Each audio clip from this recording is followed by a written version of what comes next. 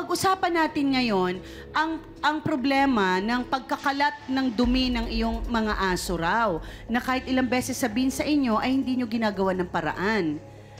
Eh, kasi naman po ginagawan ko po ng paraan. Minsan pag tinatawag nila ako, o yung aso mo, kumae. Sabi ko, Nakakaalat eh, siyempre natawagin kita. minsan pag ano, nakakaalat eh. dadakutin ko. Tapos pag ah, ano, minsan ginigising pa nila ako kahit natutulog ako, oh, yung aso mo, tumae, lelen. Ginaganon ako. Eh, minsan, na, Ikaw may- naasan ako, ikaw may hindi ko alaga eh. Siyempre, ikaw Siyempre, may minsan, alaga. nagpapakain ako ng anak kong may diferensya. Oh, unahin ko pa ba yung aso kaysa anak ko? Okay, pero wala ka bang tagu ah, wala ka bang lagayan ng aso mo sa loob ng bakuran mo, Meron. Ate Berlinda? Kasi Meron naman, pero Meron naman po. niya. Meron. Kaso ayaw, ayaw ko kasi yung pong maligalig lang yung aso ko. Kasi nag ayaw ninyo, pero gusto nyo sa labas. Eh, nakakaperwisyo. Pero ngayon po, nakakulong na.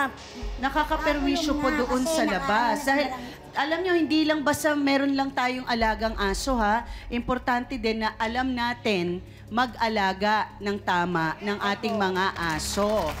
Okay, At, Mama pero... Carla, sandali lang, may tatanong lang ako. Medyo na, nasabi niyo, gusto ko lang mapag-usapan niyo. Nasabi niyo, ah, Aling Berlinda, na yung aso niyo, hindi niyo na mapakain, kaya pinapagala niyo lang para kumain ng kumain sa labas. Tama po ba? Opo, kasi minsan ma- hindi ko mapakain kasi wala rin ako makain minsan. Kaya pag ano, yung anak niya nag, nagpapakain sa aso ko.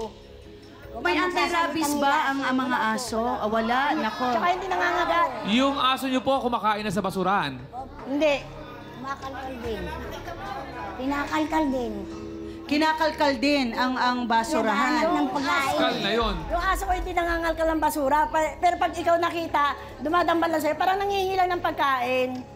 Pero hindi siya nanan Oh, pero hindi siya hindi, nangangagat. dapat pinapaano natin ang ating mga aso ha, pinapa injection ng anti-rabies. Ate Berlinda, libre 'yun. Opo, pero na-injection na yun nung una. Pero sa ngayon, nasa Wala eskwelahan po ko, hindi na pa injection na. Nako, ayusin natin 'yan, yung mga kung paano natin naalagaan ang ating mga aso. Okay.